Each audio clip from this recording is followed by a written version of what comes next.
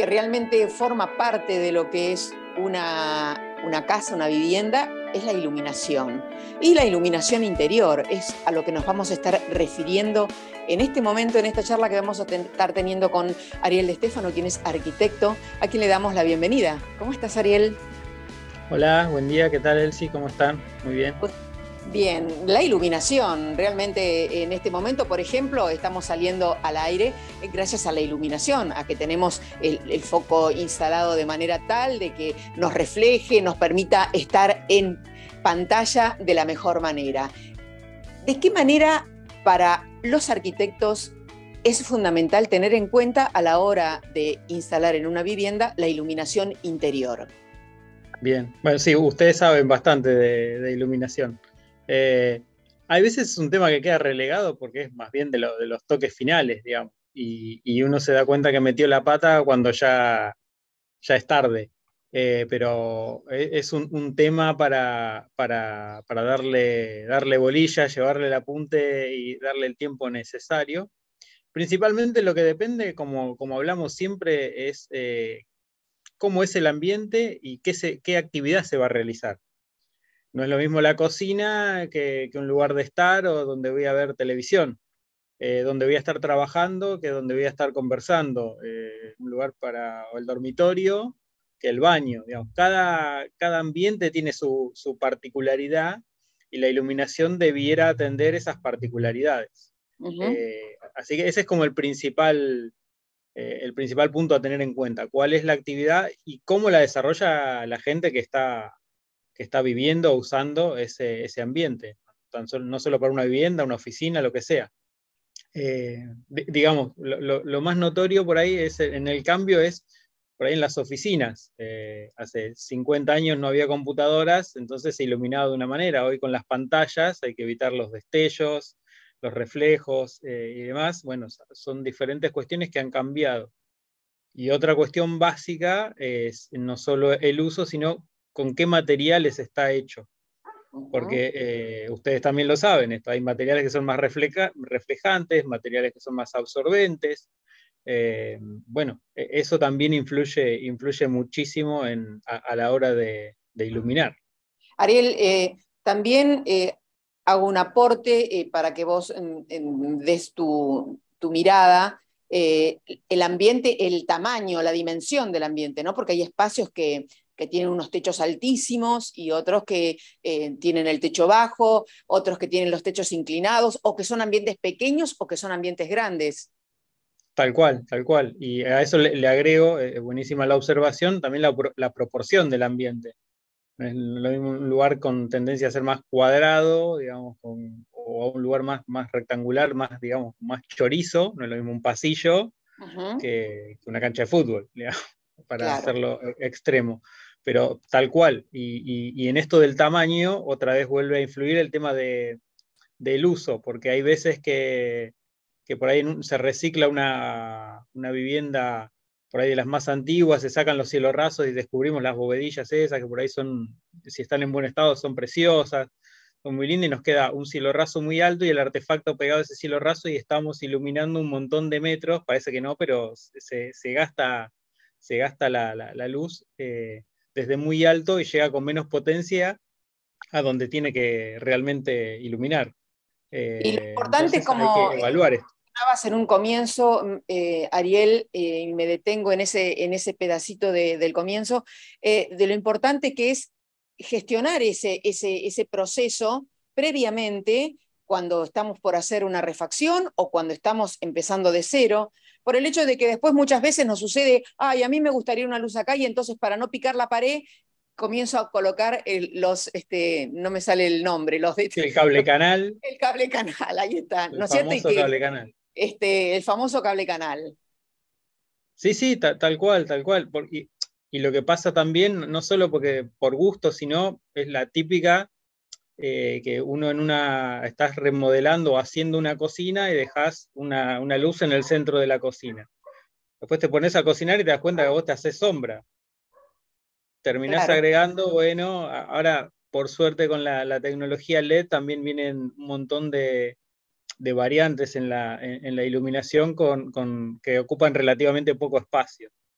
Eh, entonces, por ahí si tenés una alacena, puedes poner alguna tira de LED debajo de la alacena que ilumina otra vez el plano de trabajo, que es la mesada, que es lo que realmente tiene que iluminar, no a nosotros, digamos. No es una obra de teatro donde nos tienen que iluminar a nosotros, sino el plano, el plano de trabajo. Ahora, si no lo previste y, por ahí el artefacto no es el adecuado, esa, esa luz que está en el, eh, abajo de una alacena ilumina el plano de trabajo, pero también te encandila porque te da justo a la altura de los ojos. O sea, hay que tener bien un artefacto que sea direccional o tener algún elemento que evite ese, destello, digamos. Cada, cada paso, digamos, tiene su, particularidad. Y otra vez, de, qué es la, de qué va a ser la superficie.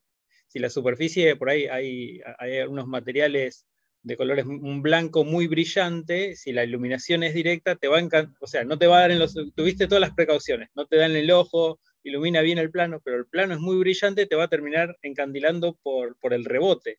Entonces hay que trabajar una iluminación que sea más bien difusa, o sea, con algún plano de alguna otra, de alguna otra superficie, digamos como si fuera un vidrio esmerilado, para que tengan una idea, que haga que sea más difusa y no, no, no venga directo, digamos. Por eso te digo, es cada, cada pasito tiene su, su particularidad. Sí. Incluso eh, para de acuerdo a cada ambiente depende eh, la tonalidad de luz, si es fría, si es cálida, ¿no es cierto? Por ejemplo, en un dormitorio, ¿qué habría que usar? Hay un poco que va, que va, que va en gusto, pero, pero sí, por ahí la, la, tendencia a los lugares más donde uno está más quieto, más, más de una iluminación más cálida y donde hay más actividad con una tendencia. Claro, una cocina, por ejemplo, luz fría para tener mucha luz. Claro, claro, exactamente, y poder ver los colores también como más, eh, más natural de, los productos, digamos, con los que uno está trabajando. Eh, con relación al tipo de, de iluminación que uno realiza de artefacto y no solamente al, tipo de artefacto, sino en dónde, porque por ejemplo techo, pared o piso, ¿no? Una lámpara de piso. Em, ahí, ¿qué, indicación o qué sugerencia darías vos para cada ambiente? Por ejemplo, en la cocina, por ejemplo, en el living, por ejemplo, en el dormitorio. Y otra, otra vez eh, empiezan a, cruzarse todos estos factores de los que viene rondando la charla, el tamaño del espacio, los materiales y la, la actividad.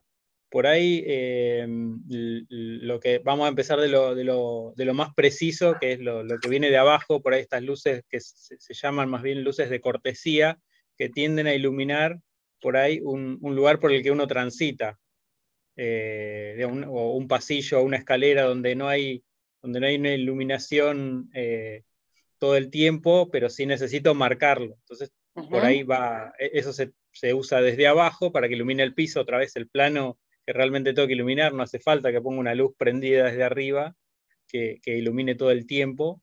Eh, se, usa, se ve mucho por ahí en, las, en, los teatros, por ejemplo, ¿eh? en la salida de un pasillo de un teatro o alguna cuestión así, donde para no, no generar una luz que, que moleste si la gente está, tiene que entrar o salir, pero sí iluminar para que la gente no se, no se choque o algo. claro, ilumina en el pasillo. Se, ilumina por ahí con una iluminación muy tenue, casi como una señalización, eh, eh, este, el recorrido o la típica en las escaleras donde se iluminan los escalones. Claro. En este caso, lo que hay que tener en cuenta, a diferencia de un pasillo con una escalera, es que cuando yo empiezo a subir, eh, hay una luz que otra vez me puede quedar a la altura del ojo de los escalones más altos, entonces hay que tratar de que no sea directa. Eh, esto en cuanto a lo, que es iluminación por ahí que va desde abajo. Después hay otras cuestiones como más de, de, fachado, de alguna cuestión que se usa casi como un reflector o como algún bañador de abajo para arriba, ya tiene que ver con una cuestión más decorativa. ya, habrá que ver otro tipo de composición. Y después en cuanto a si, está en el cielo raso, si está en la pared, otra vez tiene que ver con el, tipo de ambiente y los materiales. Por ahí a, veces eh, no se toma tan en cuenta, pero en un ambiente con, paredes claras, para dar una iluminación general está bueno esto, esto que te decía recién, tipo bañadores y usar la pared como rebote. Entonces hay una iluminación eh, general que, que no, casi que parece que no proviene de ningún lado, sino que el ambiente eh, está iluminado y después por ahí usar otro tipo de iluminaciones, como artefactos que puedan estar en el cielo raso, más, más puntuales, que, se usen para algún tipo de destaque de alguna, alguna cuestión. Supongamos un comedor eh, o un living comedor grande, uno podría tener una iluminación que, rebote, o, si el cielo raso también es de un color claro, o que rebote en el cielo raso y provea una iluminación general y después sobre la mesa o algún otro elemento tener algún artefacto que provea la iluminación a ese plano de la mesa y, también se logra un destaque. Y como hablábamos también, por ahí hasta jugar con las diferentes temperaturas entre lo frío y lo cálido como para generar estas cuestiones. Incluso la iluminación este, cobra un valor agregado cuando queremos darle a, un rincón, a un espacio, por ejemplo, de lectura o, un sillón en particular que colocamos para mirar la televisión, este, generar eh, un, espacio íntimo, ¿no? Eh, que la iluminación justamente favorece para eso. Tal cual, tal cual. Y ahí también tiene sentido otra vez esto de, estas iluminaciones por rebote que hacen una iluminación general que permiten que, eso que busco destacar se destaque, ya o, ya sea esto una lámpara para, leer, pero también a veces es, incómodo estar leyendo con mucha luz sobre el plano, uno ve perfecto, ni bien levantaste la luz por alguna, la, vista por alguna cuestión, estás en oscuro, quedas medio, medio como perdido por el contraste eh, y está bueno tener esa, iluminación por ahí más tenue, eh, que, no compita con el destaque, pero que sí aporte, aporte esto. Eso está, está bueno también tenerlo en cuenta. Bien, y, me iría ahora a los artefactos para hablar un poco en general. Em, ¿cómo, ¿Cómo se hace la elección de, un de los artefactos de iluminación? ¿Es necesario tener eh, una coherencia en toda la casa con el tipo de artefacto o cada habitación es su mundo? Mira, hay, hay como dos cuestiones. La, ideal sería, como venimos conversando, pensar en la iluminación y después buscar el artefacto adecuado que se adecue a nuestras necesidades de iluminación. Lo que, real, lo que generalmente pasa es, estamos terminando la obra y vamos y elegimos el artefacto que nos gusta. Y vos los ves y este es re lindo, pero después todo junto no tiene, por ahí tiene una coherencia estética, pero no termina sirviendo para la iluminación. Entonces, por eso es importante por ahí verlo de antemano y decir, bueno, acá necesitamos un, un artefacto que sea lineal, con, con, una, con, una, iluminación que no sea directa, sino con, con algo que la, difumine. Entonces vas a buscar eso precisamente y no, no te dejas, digamos, llamar la atención por el artefacto lindo que está en la, en la casa de iluminación.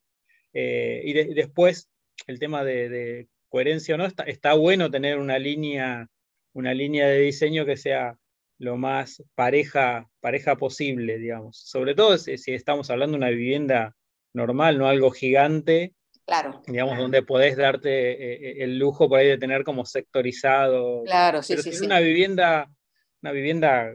Una vivienda familiar, sí. Familiar, normal, estándar, eh, está bueno tener, mantener cierta, cierta Una línea, una, una, línea estética, ¿no? Tal cual, tal cual. Bien. ¿Algún, detalle, ¿algún detalle final? ¿Algún detalle final? No, yo volvería al principio de eso, de tratar de la iluminación, pensarla, pensarla de antemano, que no quede relegada, relegada al final, y sobre todo para esto, para no caer después en, comprar artefactos y, gastar un montón de plata, porque los, más lindos, como siempre, son los más caros, eh, en cosas que no necesitamos y no nos están cumpliendo la función que deberían cumplir. Sí, y además, y además reitero lo que yo dije, de no tener que andar poniendo el cubre canal. Tal cual, tal cual. Bueno, Ariel, ha sido un gusto charlar con vos. Gracias por el aporte. Igualmente. Por nada. Bueno, y la, próxima, ¿sabes de qué vamos a estar hablando? De iluminación exterior. Quiero irme afuera, al, sector de, parque, de patio, de eh, patio chiquitito, de balcón. Vamos a hablar un poquitito de eso, ¿te parece? Dale, bárbaro. Dale. Chao, Ariel. Gracias. Chao, chao.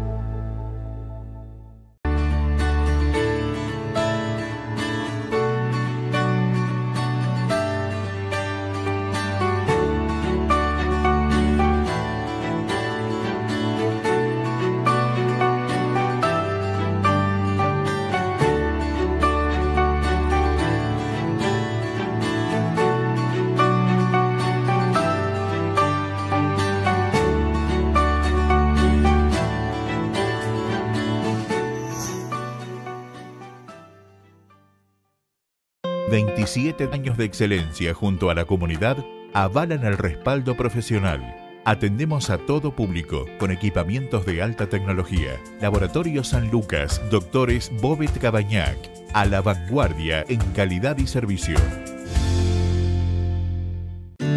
Vivero Bausá, plantas conos sin flores para interior y exterior, árboles, césped. Brindamos asesoramiento y un servicio experimentado en mantenimiento de parques y jardines. Encontranos en Facebook como Vivero Bausá. Centro Médico San Lucas. Máxima eficiencia profesional, científica y tecnológica. Centro Médico San Lucas. Las 24 horas del día sirviendo a la comunidad.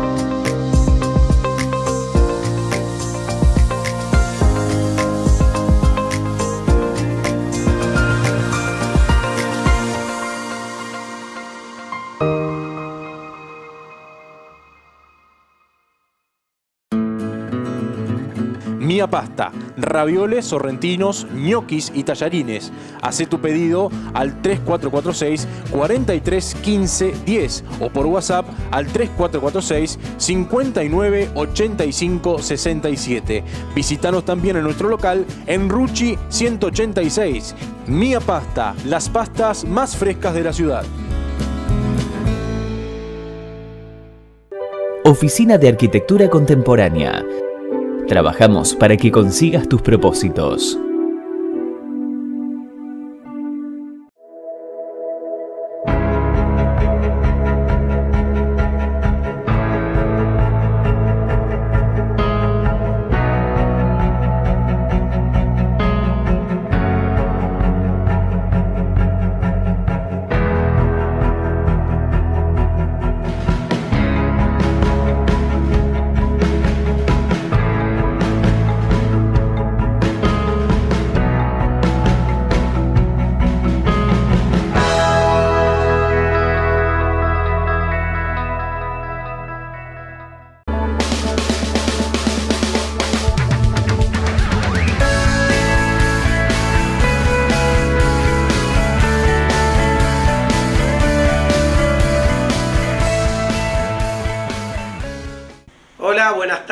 Gente de Roel TV. Bueno, eh, hoy nos encontramos para hablar, si bien de peluquería, pero de un servicio distinto que es barbería. ¿sí? Y a eso le vamos a agregar una cuestión más novedosa que no, no, abunda, que es eh, un barber eh, shop, diríamos, ¿no? O sea, un servicio de barbería y cervecería. ¿De qué se trata? Bueno, de un espacio donde las personas, básicamente los hombres, porque en definitiva el servicio de barbería y cortes de pelo está más enfocado a, un mayor porcentaje de hombres, pero es apto para, todo el que quiera eh, tomar ese servicio, que ya vamos más adelante vamos a hablar bien de, ese tema. Eh, con respecto al servicio de, una barber, como, como le pusimos en este caso en Gualeguaychú, es eh, combinar un servicio de, peluquero para, hombres, barba, cabellos, y diseño, ¿no? Y cervecería y cafetería también. O sea, un espacio como para que uno pueda eh, distenderse, ir con alguien que lo acompañe, si quiere también, porque en definitiva o vas a tomarte una cerveza y ves cómo cortan el pelo, que no deja de ser algo eh, llamativo, o un café, o vas a acompañar a algún amigo o llevas a tu hijo y te tomas una cerveza mientras le cortan el pelo. Eh, o viceversa, te vas a cortar el pelo y decidís tomarte una cerveza o tomarte un café y lo haces en un momento mucho más eh, cálido, más distendido y que, bueno, el espacio de la peluquería de hombre no sea eh, como casi siempre fue, ¿no? De eh, rápido, llego, me quiero ir, no es algo que me interese, así que creo que aprovechar ese espacio para eh, tomarlo con calma y tomar el servicio del corte de pelo para nosotros también puede ser un, momento de, despeje, un momento de charlas, un momento de, único para, un ambiente que, en definitiva casi siempre fue, eh, no diría despreciado, pero eh, las personas casi, los varones nos fastidiamos cuando tenemos que ir a la peluquería porque es como si fuéramos a sacarnos un problema y en realidad si cuidamos nuestro cuerpo es para eh, sentirnos bien y para mimarlo un poco. Así que bueno, el servicio está ahí, eh, aprovechenlo y, disfruten de una novedad que, que bueno, vino para instalarse. Bueno, espero que hayan entendido bien el concepto.